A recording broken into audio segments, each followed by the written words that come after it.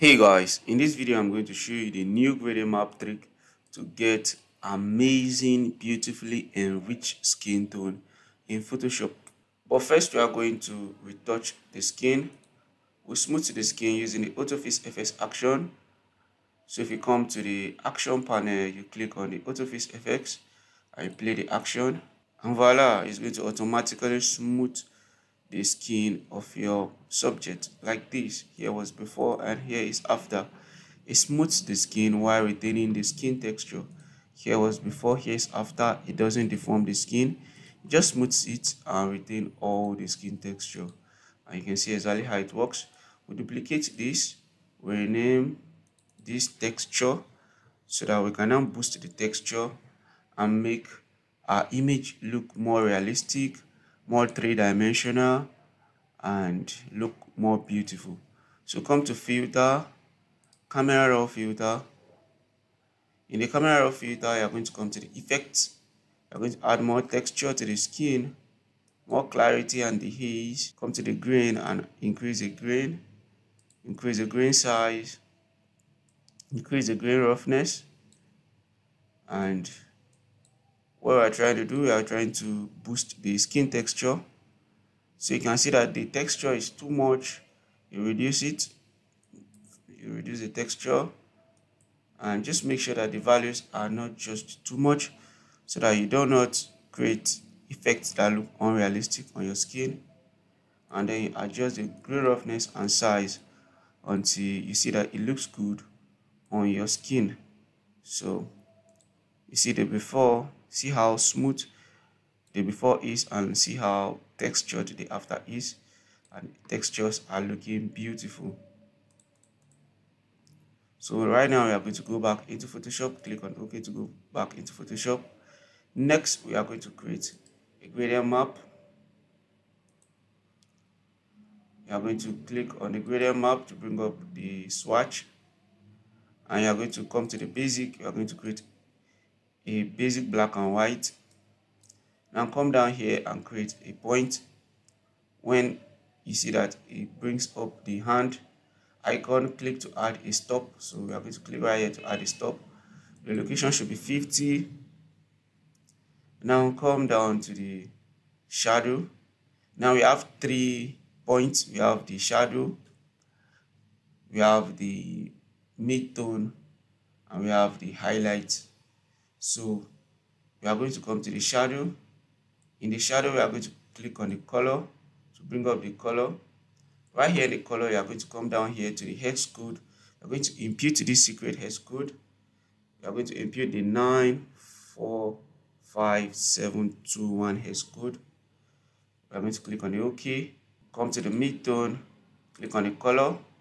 I'm going to insert this hex code. A7 5 F 2 E. Now I'm going to click on OK. Come to the highlights, click on the color. I'm going to write D6 A482. We're going to click on OK. Now I'm going to click on OK. And I'm going to come to the blend mode, change the blend mode to soft light and I'm going to go to image. Before you come to image, make sure you're on the layer mask. Make sure you're not on the layer. Make sure you're on the layer mask. Come to image, click on apply image, click on OK. Now click in the properties, click on invert, click on invert. And now you can reduce the intensity, adjust the intensity like this take the intensity down and increase it until the point that you see that some of the details have been removed from the highlight just like this. When you're okay you can now take down the opacity a little bit. Now we are going to create a hue saturation. The hue saturation we are going to take a hand picker tool and click on the skin to sample the skin. We're going to take down the hue to the right plus 3 I'm going to reduce the opacity of this also. And I'm going to take a look at the before and the after. Here was the before and here is the after. and I'm going to create another hue saturation take the hand pick out two click on the eye I'm going to take down the saturation I'm going to take up the lightness we are going to come to the properties of the layer mask and I'm going to invert I'm going to take our brush make sure the foreground is white. Increase your brush size now I paint on the eye to remove the reds in the eye and make the eye look more beautiful. Now you're going to come to the teeth and do the same. Make sure the foreground is white and then paint on the teeth to make it appear white. If the effect is bleeding to the skin you invert the foreground to black and you gently remove the effect.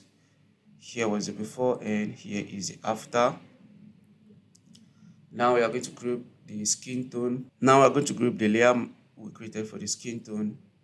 And I'm going to create a layer mask. Make sure the foreground is black. Take your brush. Make sure the foreground is white.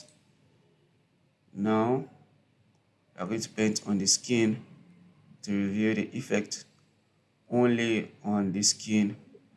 Make sure your opacity is 100 the flow is around 50 right now it's on 49 which is okay. Now I paint on the skin. To reveal this. Amazing.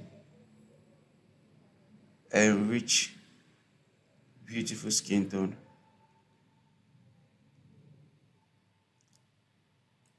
Now let's take a look at it before.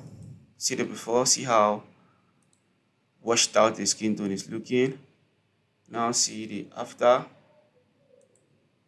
See how enriched the skin tone is looking. And also don't forget how we got to the smooth skin. Don't forget we got the smooth realistic retouch skin. We use the autofix fs action. The link is in the description to get the autofix fs action. It's going to save you a lot of retouching time. You just need to remove the pimples on the skin apply the autofix fs action and with just that one click you're going to automatically get this beautifully retouched skin. Then you go for that to color grade. It's going to save you a lot of time. You are going to retouch more images make more money for your photography business. So check the link in the description to get the autofix fs action right now it's just one dollar. With just one dollar contribution to the channel you get the autofix fs action.